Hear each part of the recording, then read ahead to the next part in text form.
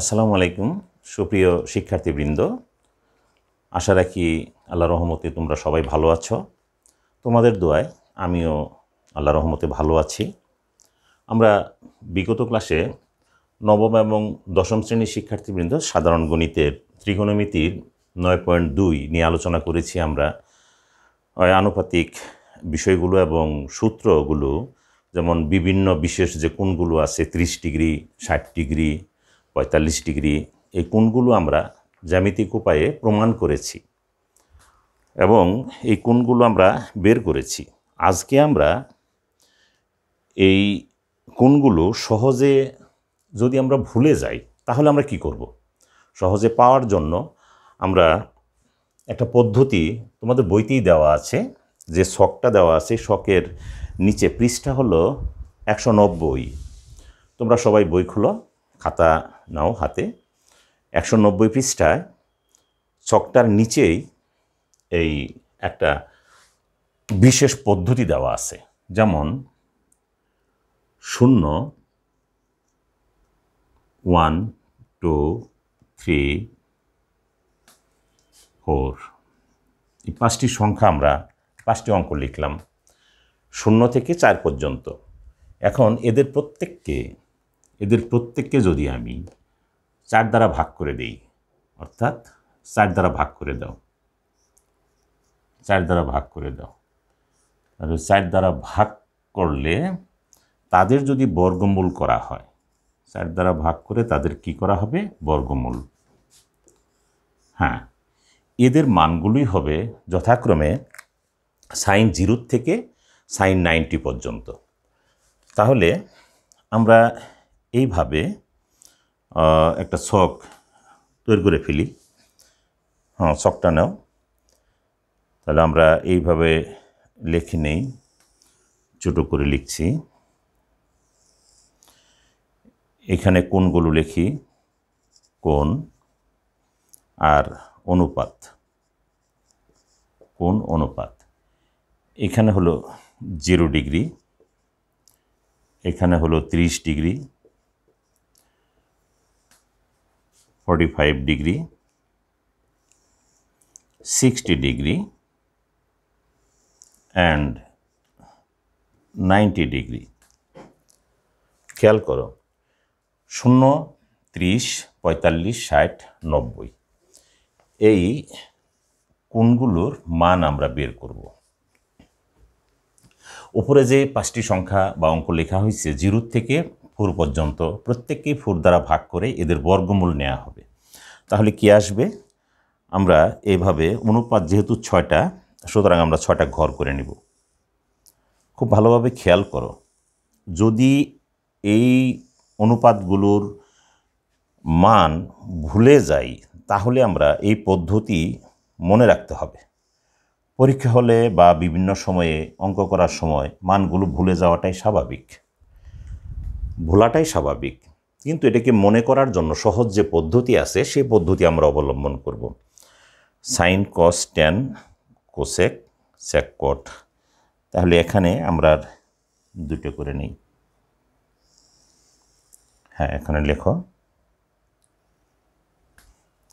এখানে লিখব sign cos ten তারপর লিখব কোসেক স্যাক এখানে কট এবার খেয়াল করো, উপরে যে এক, দুই, তিন, চার, পাঁচ, এক, দুই, তিন, চার, পাঁচ, এখানে এই জিরো থেকে চার পর্যন্ত প্রত্যেকটি অঙ্ককে চার দ্বারা ভাগ করে তাদের বর্গমূল নিলে আমরা যথাক্রমে কি পাবো?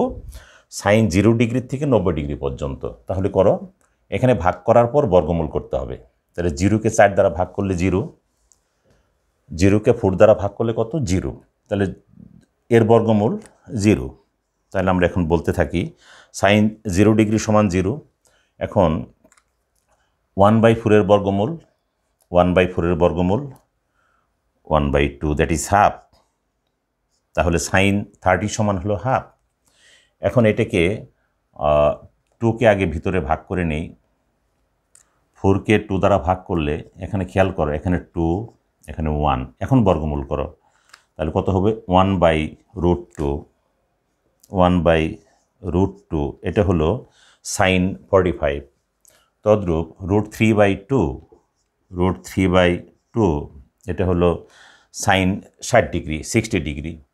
এখন এটাকে ভাগ করলে ওয়ান ওয়ান ওয়ানের বর্গমূল ওয়ান খুব সুন্দর, খুব সহজে এটাকে মনে রাখার জন্য, এই মানগুলো মনে রাখার জন্য আমরা এই পদ্ধতি অবলম্বন করতে পারি। এবং চমৎকারভাবে তোমাদের একশো নব্বই পৃষ্ঠার ছকটার নিচে দেয়া আছে।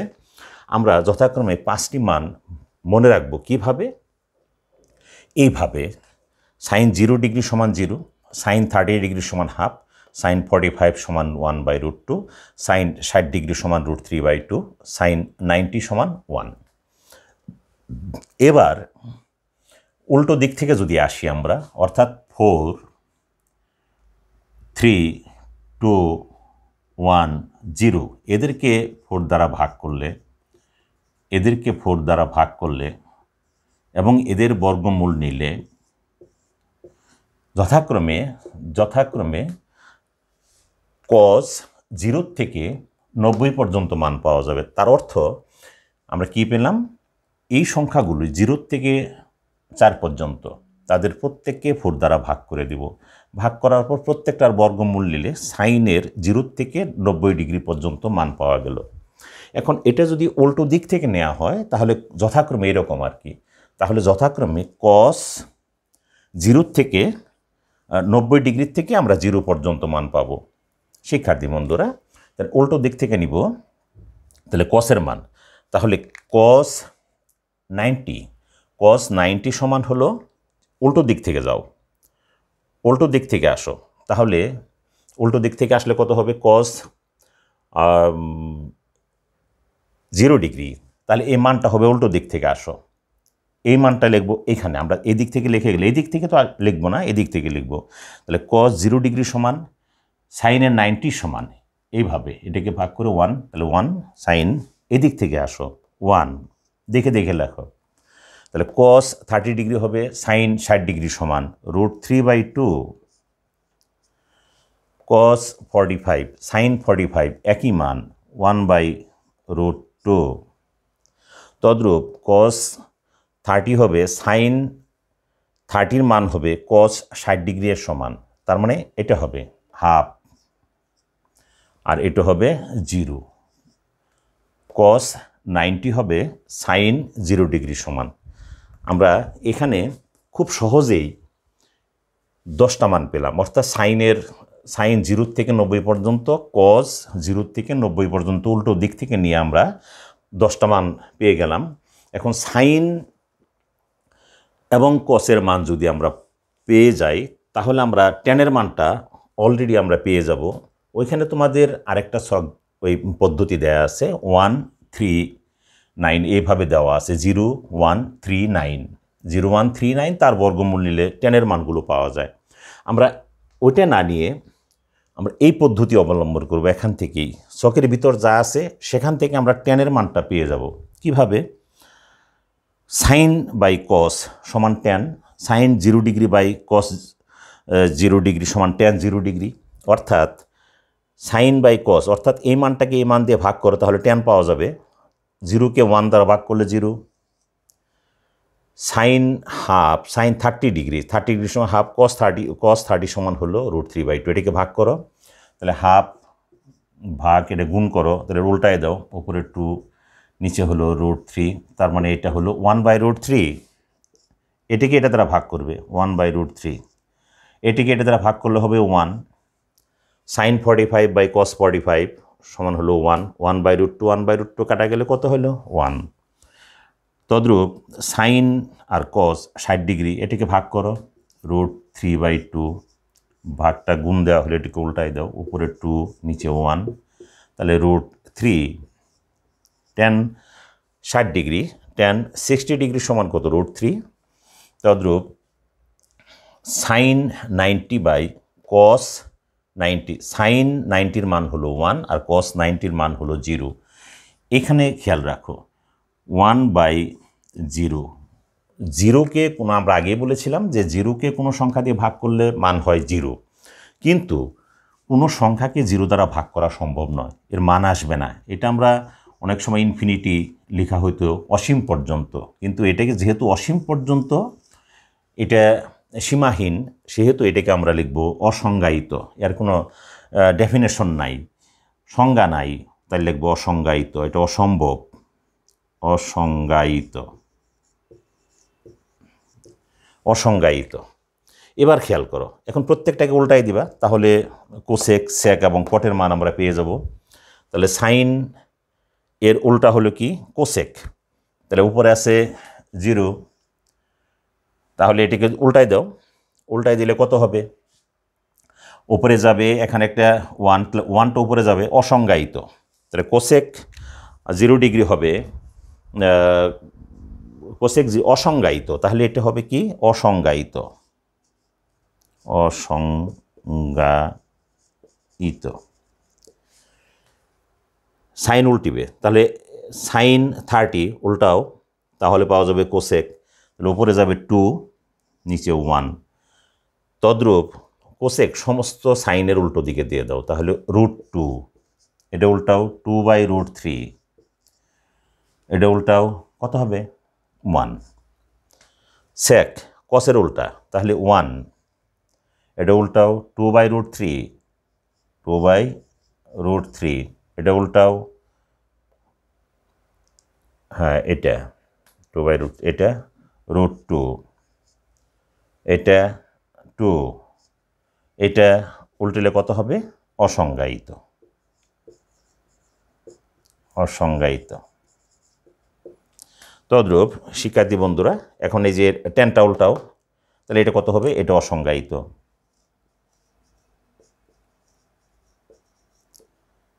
কারণ মনে মনে এর নিচে একটা ওয়ান আছে। ওয়ানটা উপরে চলে যাবে ওয়ান বাই জিরো হবে না? তাহলে অসংজ্ঞায়িত। তো দ্রুপ টেন এটা হলো রুট থ্রি ওয়ান এটা হলো ওয়ান টু উপরে যাবে ওয়ান বাই রুট থ্রি অসংজ্ঞায়িত বলতে কি বুঝি আমরা? অসংজ্ঞায়িত বলতে সামথিং ডিভাইড বাই জিরো এটা। তাহলে এটা উল্টিলে কি হবে? উপরে যাবে জিরো নিচে আসবে ওয়ান দ্যাট ইজ এটা হবে জিরো মান আসবে কত? জিরো শিক্ষার্থী বন্ধুরা, আমরা এই মানগুলো পেয়ে গেলাম। আমরা ও একটা সহজ সহজ একটা পদ্ধতি থেকে আমরা sine, cos, tan, cosec, sec, cot অর্থাৎ যে ছয়টা অনুপাত আছে, এই অনুপাতের মানগুলো আমরা পেয়ে গেলাম। মনে রাখতে হবে সর্বদাই, তোমাদের বিশেষভাবে মনে রাখতে হবে, শূন্য থেকে চার পর্যন্ত এই পাঁচটি অঙ্ককে যথাক্রমে চার দ্বারা ভাগ করে প্রত্যেকটার বর্গমূল নিলে এর মান হবে যথাক্রমে সাইন জিরো থেকে নব্বই ডিগ্রি পর্যন্ত এর প্রত্যেকটার মান যথাক্রমে। তদ্রূপ ফোর থেকে থ্রি পর্যন্ত লিখে উল্টো দিক থেকে যদি আবার বর্গমূল করা হয় চার দিয়ে ভাগ করে, মান আসবে যথাক্রমে কস জিরো থেকে নব্বই ডিগ্রি পর্যন্ত। এখন সাইন এবং কসকে ভাগ করলেই ট্যান পাওয়া যাবে। Sine theta by cos theta sine theta by cos theta সমান হলো ট্যান থিটা তাহলে sine zero by cos zero তাহলে হলো ট্যান জিরো এভাবে আমরা সাইনকে কস দ্বারা ভাগ করে ট্যানের মান পাবো। এখন প্রত্যেকটা অনুপাতের উল্টো নিলেই আমাদের সাইনের উল্টা হলো কোসেক কসের উল্টা হলো স্যাক টেনের উল্টা হলো কট আমরা একটা বিষয় থেকে আমরা কয়টা হলে তাহলে? ছয়টার জন্য পাঁচ ছয়, তিরিশটা মান আমরা পেয়ে গেলাম। অতি সহজে এটা পরীক্ষায় যদি আমরা ভুলে যাই বা যে কোনো সময় ভুলে গেলে এটা আমরা পদ্ধতিটা অনুসরণ করব। শিক্ষার্থী বন্ধুরা, সবাই তোমরা বুঝতে পেরেছ, পরবর্তী ক্লাস আমরা তোমাদের নাইন পয়েন্ট টু এর আমরা সমাধান করব বা অঙ্ক করব এরপরে। তোমরা এই মানগুলো তোমরা আয়ত্ত করবে, পদ্ধতি অনুসরণ করে একশো নব্বই পৃষ্ঠার শখটি তোমরা আয়ত্ত করবে। এটা অঙ্ক করার জন্য বিশেষ প্রয়োজন। এটা জানা ছাড়া অঙ্ক করা সম্ভব নয়। শিক্ষার্থী বন্ধুরা, এই মানগুলো বিশেষভাবে পাওয়ার জন্য যদি কোনো সমস্যা হয়, তোমরা আমার সাথে যোগাযোগ রাখবে কমেন্টস দিবে এবং এই চ্যানেলটিকে সাবস্ক্রাইব করবে। সবাইকে ধন্যবাদ জানিয়ে আজকের ক্লাস এখনই শেষ করছি। আল্লাহ হাফেজ।